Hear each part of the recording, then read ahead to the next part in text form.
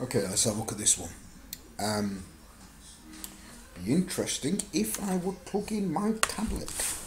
So then I could write. Right, so what we're going to look at is um, another question enthalpy using Hess's law. Uh, we are trying to find the standard enthalpy of formation organic molecule methane. Now, what you're given is enthalpies of combustion, where the enthalpy of combustion of methane is minus 890 kilojoules per mole.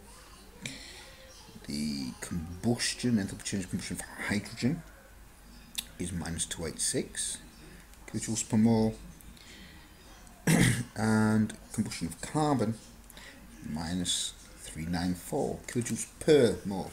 I keep saying that, so it kind of kilojoules per mole. It kind of goes into your head that you know it's um, it's something that we need to do. We need to get it into kilojoules per mole per mole. Okay, so we want the formation. So what? Switch to black. What are we going to make methane out of? We're going to make it out of a solid, single, one mole carbon, and we need hydrogen.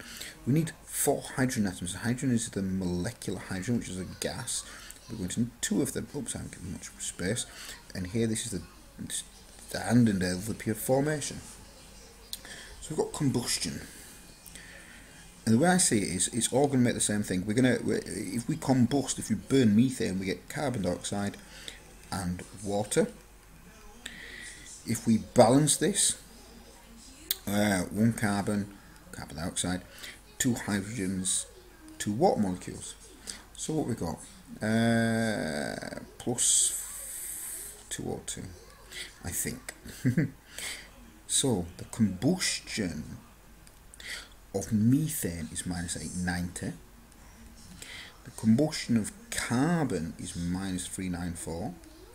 And the combustion of hydrogen is minus 286 per mole. And this time we've got two of them.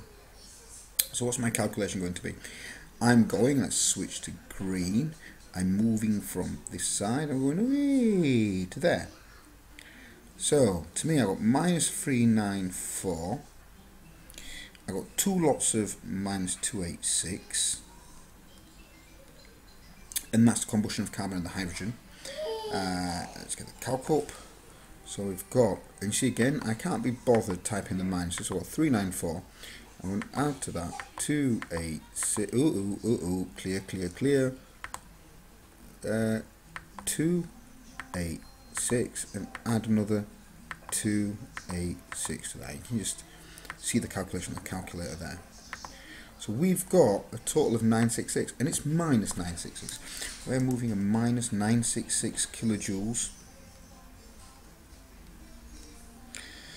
from carbon to hydrogen.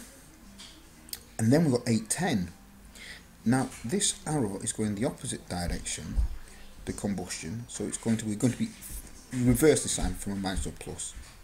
810 and that should give us uh, minus 8, 10, 100, so minus 156 kilojoules, which is the standard enthalpy of formation of methane. And there you go, that's the last one I'm doing today.